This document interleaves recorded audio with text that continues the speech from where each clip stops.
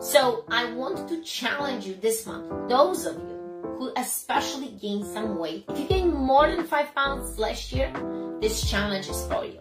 And the challenge will be on the discipline, meaning learning to say no. So imagine all these parties, all these uh, uh, trips to your friends and getting together and eating, drinking wine and doing all other things.